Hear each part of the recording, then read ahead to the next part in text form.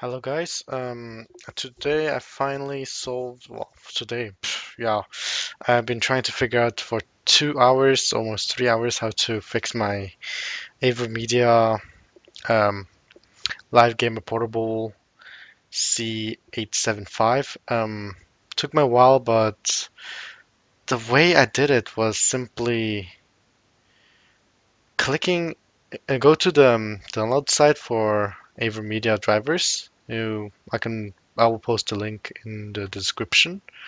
Uh, you simply go to this site here, uh, choose your device. Of course, I have Live Portable. I chose release history.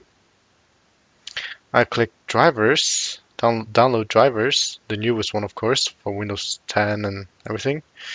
Uh, then I got this uh, WAR file here. I opened it. Um, I installed this, the Windows 10 64-bit, and took maybe something like half minute or a minute.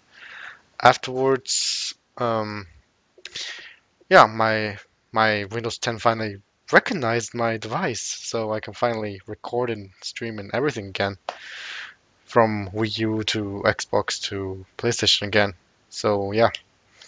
Uh, please subscribe, comment below if you need more help about this. I just figure out about how to fix mine. Maybe you guys, other people have different solutions. To depends on what your issue is. I mean, my issue was that um, I upgraded my Windows 8.1 to Windows 10, and afterwards my AverMedia never worked again.